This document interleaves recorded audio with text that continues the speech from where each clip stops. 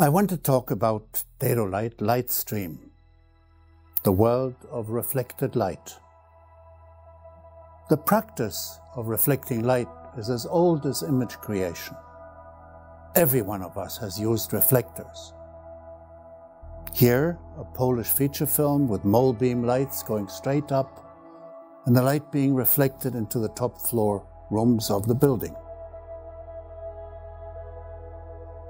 When I was shooting a series of movies in Indonesia, many of the houses had roofs that reached all the way down, and the people lived on a raised platform.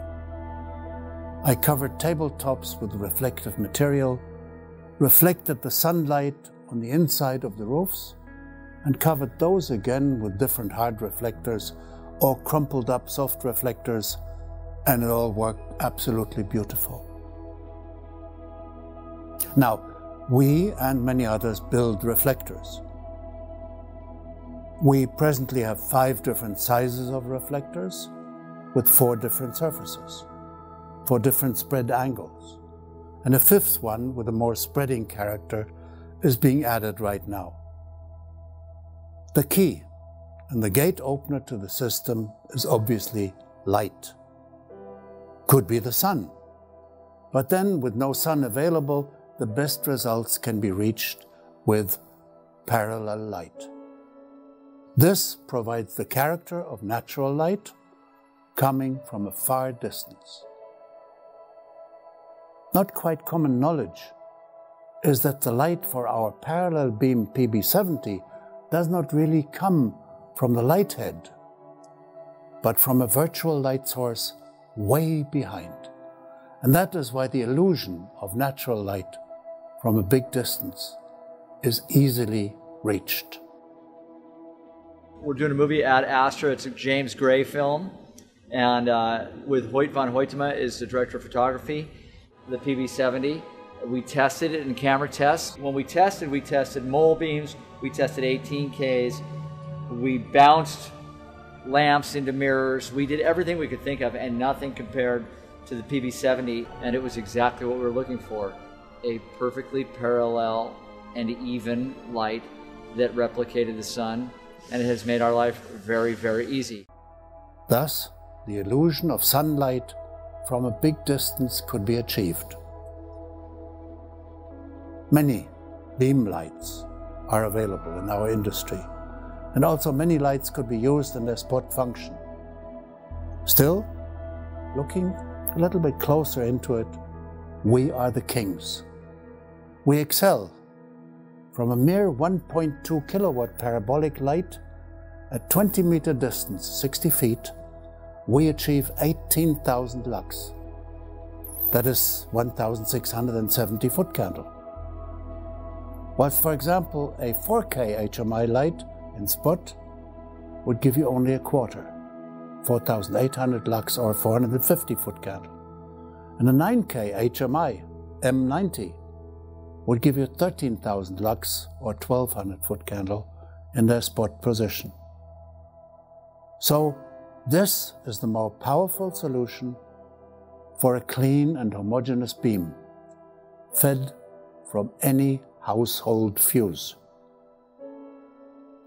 Our particular pride, though, is in the evolution of dedolight optical systems, which now culminate in the added parallel beam intensifier for all of our 21 different focusing Dedolights.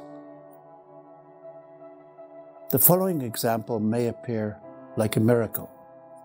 Our HMI 400 watt light offers the best focus range worldwide 1 to 20. Better, clean, more efficient, and with a spot of much further reach. Those lights are special. They're not just ordinary lights, they're special lights. DLH400 in its classic setup, and we love this light. It's just this beautiful sort of small HMI that's totally precision with a, with a 5 degree to 58 degree flood. It has a huge amount of power to it, a lot of energy, a lot of light coming out of the head, which if you need it, it's there for you. Great light quality, really sharp. The new miracle takes us now beyond because with the parallel beam intensifier, we add an extra 500%. So that's that's revolutionary. That's quite yeah. game changing. The parallel beam adapter. So this is the thing that basically turns this little light, little hard light into part of the light stream system. The same holds true for our smallest light, a bicolor LED light with merely 2 times 40 watt. At the same distance and spot, you reach 700 lux, and with the parallel beam intensifier, it goes up to 7000 lux. The resulting beams you can redirect and create complete lighting for sets with multi-reflection, multi-direction, reflecting from far and from opposite directions. But when you combine it with a parallel beam adapter, then you're into another dimension. The light stream system is something that really interests me. I think it has the most wonderful use. I've seen it used in places where you could not put a light. Lightstream is incredible. I mean, at the moment we're using a 400 on the floor. It's going into a one meter by one meter number four that's giving us lovely soft fill. And then from the same lamp, we're using three smaller reflectors. So one little reflector lighting the actual light. That's the number harder. one. And then we've got two little reflectors picking up us as little key Just lights. lifting our face a bit and so from, popping out. You know, we've used three lights to do this yeah. setup and we've got two backlights out of one light. Three lights, we've made seven sources. You may also place many reflectors in a linear row for parallel beams, which again supports the impression of natural lights because the beams and shadows will not be diverging. The revolutionary light stream practice provides no limitation.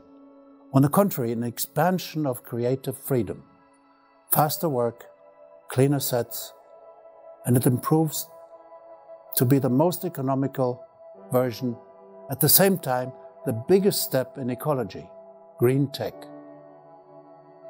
It doesn't stop at the drama production or the bigger studio work.